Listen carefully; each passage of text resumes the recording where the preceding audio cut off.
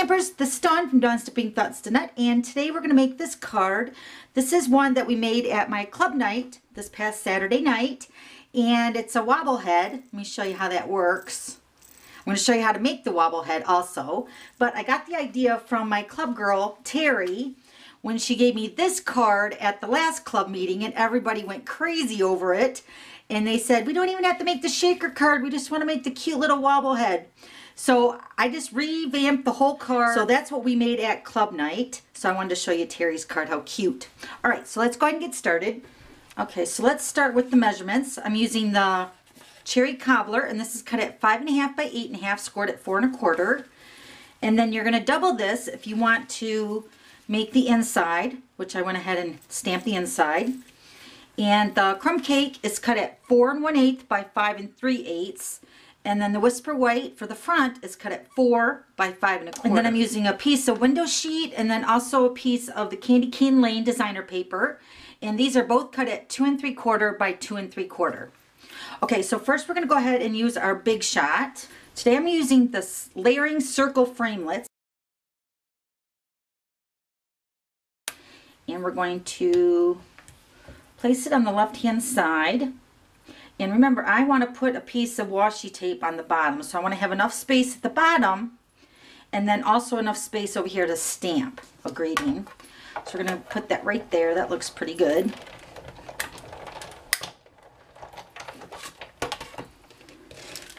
Okay, then I'm going to use a piece of crumb cake. I'm going to use the next size up in the scallop. And we're going to also cut out the center because this is going to be like the frame around the the window for the Santa.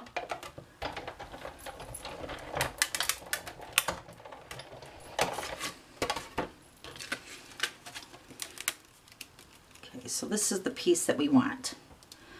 Okay, so let's go ahead and move the big shot. Okay, so we're going to go ahead and layer the frame over top of this cutout here.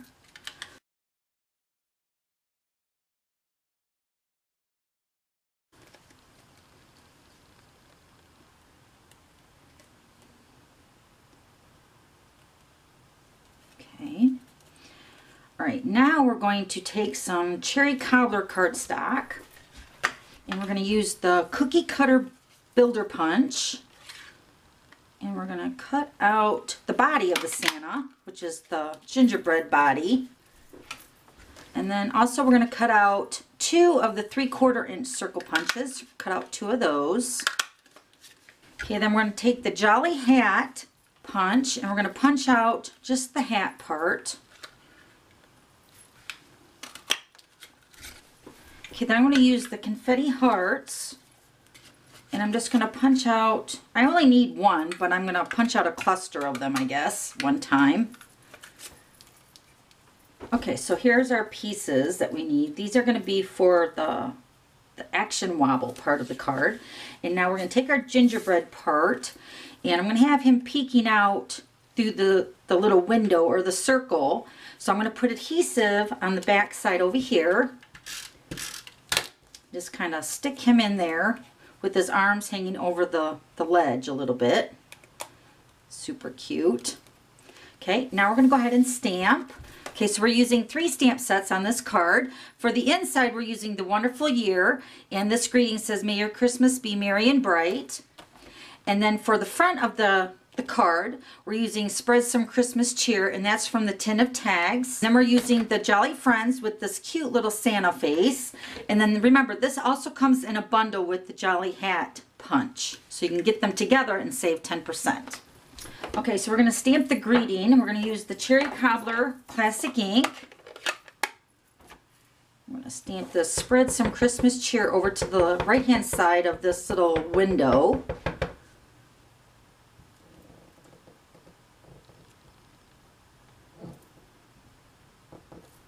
So I'm going to take some washi tape and I'm going to run this. This is from the Candy Cane Lane Suite, which is the Candy Cane Designer Washi Tape. Just going to layer that right at the bottom. Just like that. Tear that. And just wrap that around to the back. Okay. Okay, then we're going to take another piece of the washi tape. Let me show you what I did. So I took a piece of Whisper White and I layered the washi tape onto the Whisper White piece. And you want this long enough so you can at least punch it. Or you can take your scissors and you can flag the end. Just like that. I just took my one inch square punch like this. Let me show you on this end here and then you just flag the end. Okay, and then of course you want to trim this out. So it's exactly the size for the card that you want. Okay, so it looks like that. Then you're just going to trim this down. And then I'm going to put this onto the, the card. Up here and I'm just going to position it but I'm going to also cut that down because I don't need it that long so I'm just going to flip it over and cut that. Okay so that's how I did that. Okay so now we're going to add the window. Now I made so many of these cards getting ready for club night I wanted to kind of get an idea of what I wanted to make. And I had tried adding the designer paper right to the back like that and it needed to be popped up most definitely. Even though we didn't make it into a shaker card the Santa with him popping out like over the window, I just felt like it needed some depth to that circle on the back.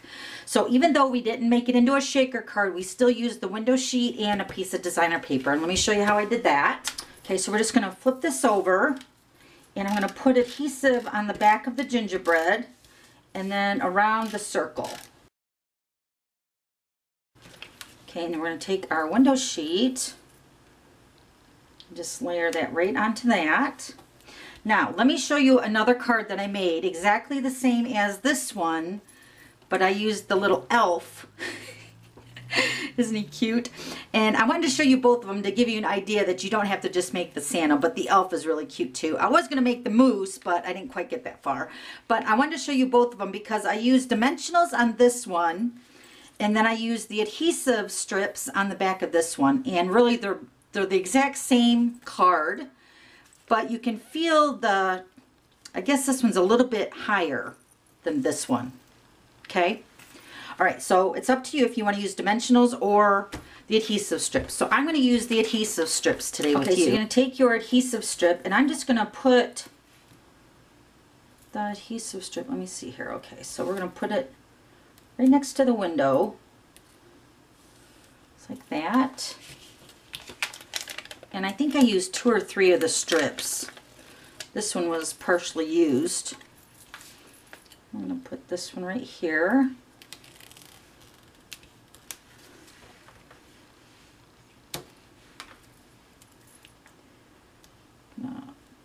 there.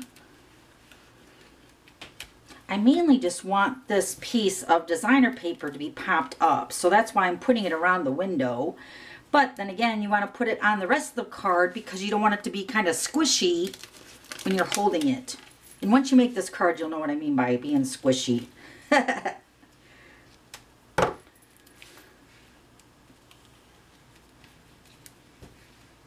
okay, so you get the idea. You want to cover that with either the adhesive strips or the dimensionals.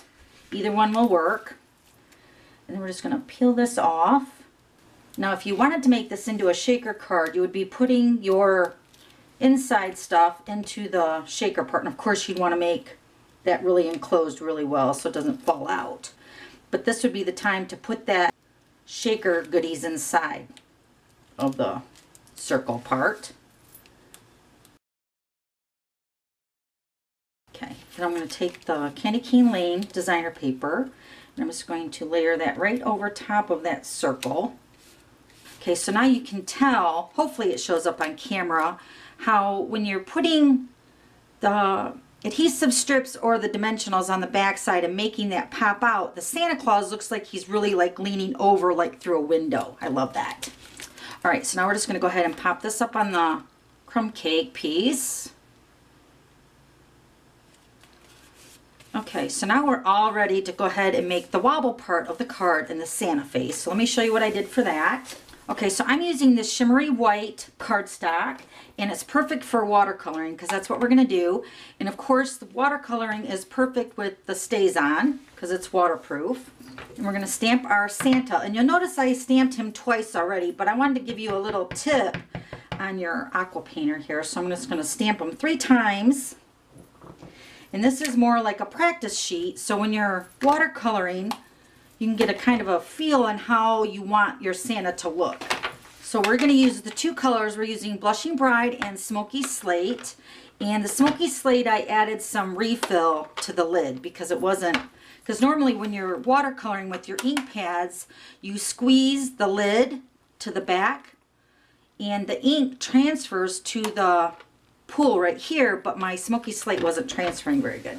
Okay, so we're going to use the aqua painters. And when you purchase these, you get two in a package. We're going to use the smaller tip, and then there's a, a wider tip brush. Either one will work, but I'm just going to use the, the finer tip one. And let me get a napkin. Okay, so you're going to squeeze, so this barrel right here unscrews, and you'll put tap water into your barrel of your aqua painter. Screw that back on and then you're just going to squeeze this part of the barrel and then your water is going to flow through the brush. Now, depending on how much water you have, will depend on how bright or dark or even light your Santa face will be. So I wanted to show you that. That's why I stamped them three times. Okay, so for a more condensed look for when you're coloring, you don't want too much water on your brush. And this will be a little bit more brighter when you're coloring because there's not that much water on your brush.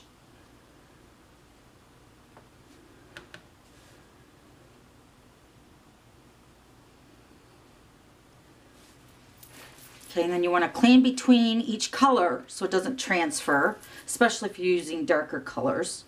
Okay, so then we're going to go to the smoky slate. And you can see how much brighter and darker the smoky slate is with less water on your brush.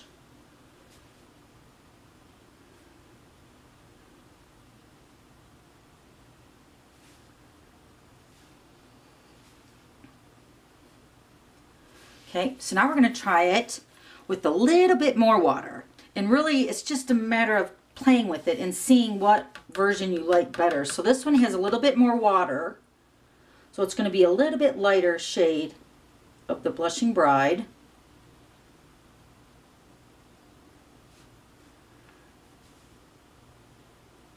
Now remember, the top of his head's going to be covered with the Santa hat, so kind of start there when you first start coloring him. Okay, so now the Smoky Slate. And the shimmery white cardstock is really nice for watercoloring because it's a little bit thicker cardstock, plus it gives it a little shimmer. I like it. Because see now this one has a little bit more water, but you get the idea.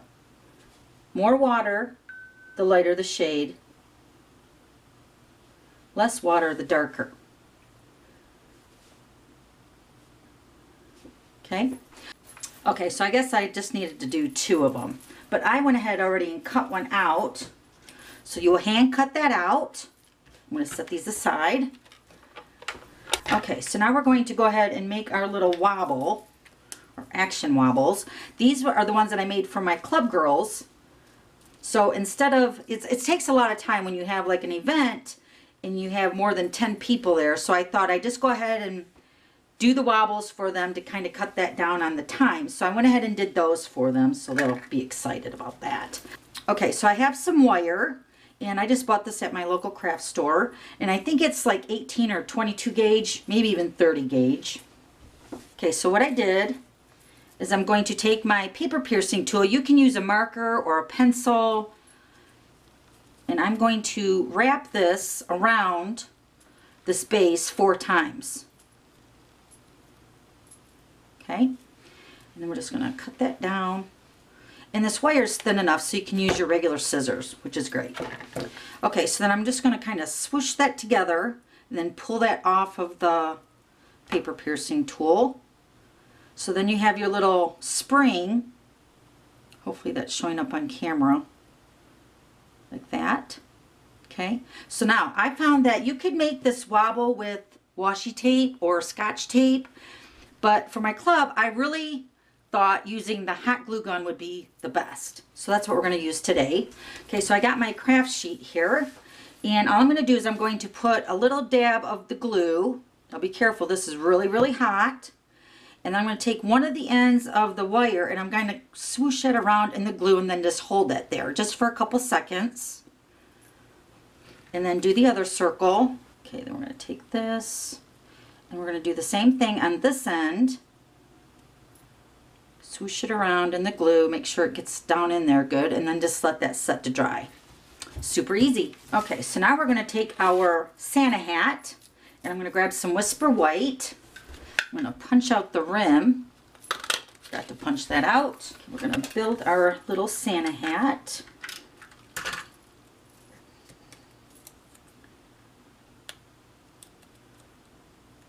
Then this is going to go onto our little Santa face. Isn't he cute? I like kind of tilting the hat on his head.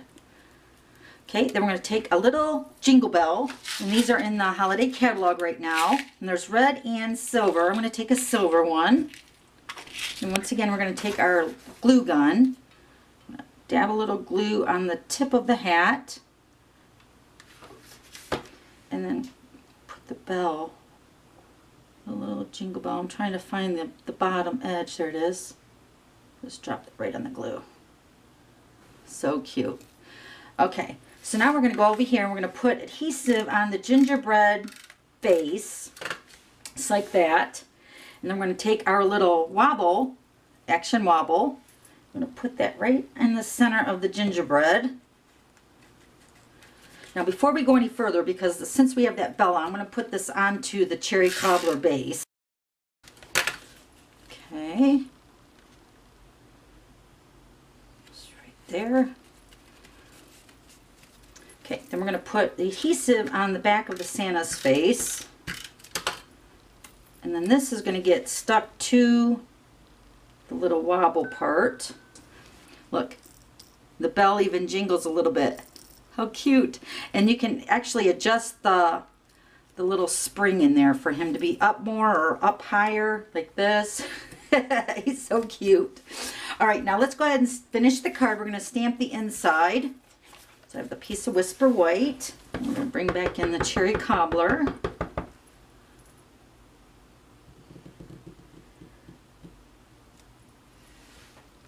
And then I have a little cluster of stars here, and this is from the Tin of Tags stamp set. It's right there. And what else is nice too with the photopolymer, you can curve it to go over your greeting, which is what I did for this one. Okay, super cute.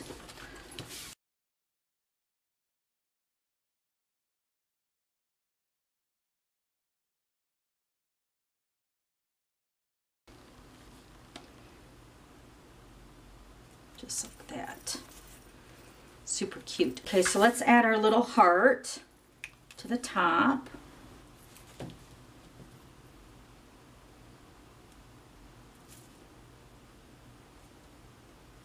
Okay, and then we can add some glitter. We probably should have done that first. We're going to use the fine tip glue pen. I'm just going to scribble across his little hat on the white rim. and then also dot the little snowflake and dots along the greeting. Cute. So let's bring in the dazzling diamonds.